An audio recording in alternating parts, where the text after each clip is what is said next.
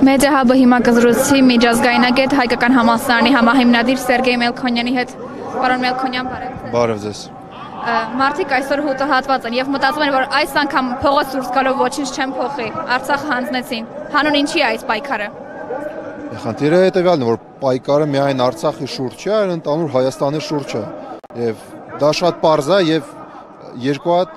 գլխավոր թիրախներ ունեն այսօր Թուրքիան եւ Ադրբեջանը։ Առաջի թիրախը այսպիսի կոչված անկլավները, իսկ իրականում Թավուշ մարզի եւ Արարատ մարզի մի մասը գրարվել է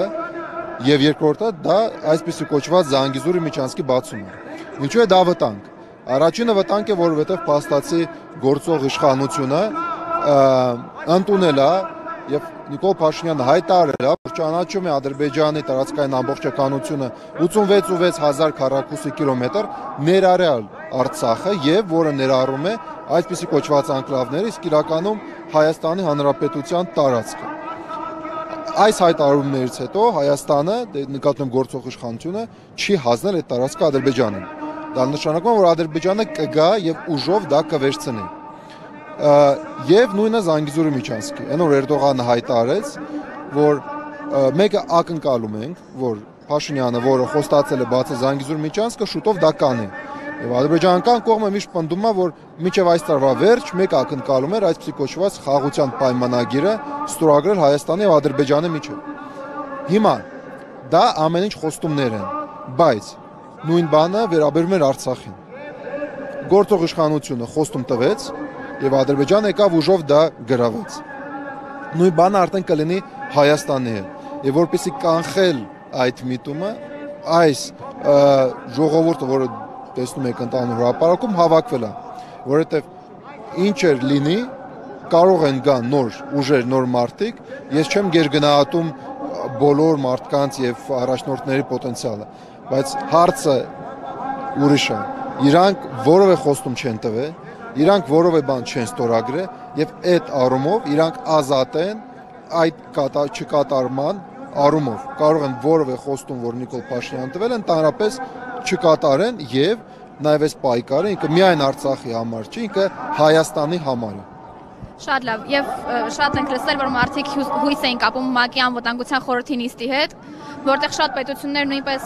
փաստում էին այն պահը, որ Ադրբեջանը վարում է ցեղասպան քաղաքականություն։ Ինչպես կարող է միջազգային հանրությունը անդրադարձ կատարել այս իրավիճակին։ Ոչ մի ձև,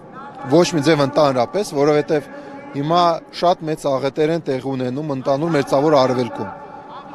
Եմենի իրավիճակը քննարկում են, բայց ոչ մի բան չեն կարող անել։ Իրաքում նույն իրավիճակը, Աֆղանստանում, Սիրիայում, Լիբիայում եւ այլն եւ այլն։ Նկատն մեր դեպքը ինքը որ ըստ միջազգային հանրության տեսանկյունից որ էքսկլյուզիվ բան չի, ընդանուր մի շարքի մեջ է, բայց մեր խնդիրը ուրիշ է։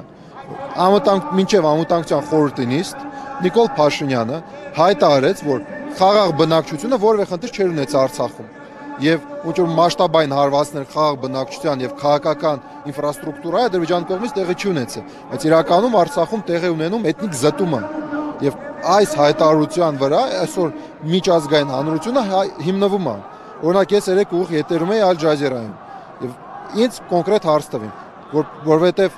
ասում են դուք նախորդ օրին ուղիղ եթերում ասացիք, որ Արցախում տեղ ունենում էթնիկ զտում։ Այսօր ձեր վարչապետը ասում է, որ որևէ բան չկա։ Ոնց կարող է դա մեկնաբանել։ Եվ ես ուղիղ եթերում դժվարում եմ պատասխանել։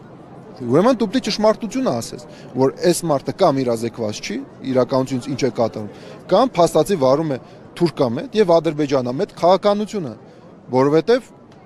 մենք տեսնում ենք, որ նպատակները լիովին համընկնում են։ Ոչ մի ձևով իրանք չեն հակասում իրար։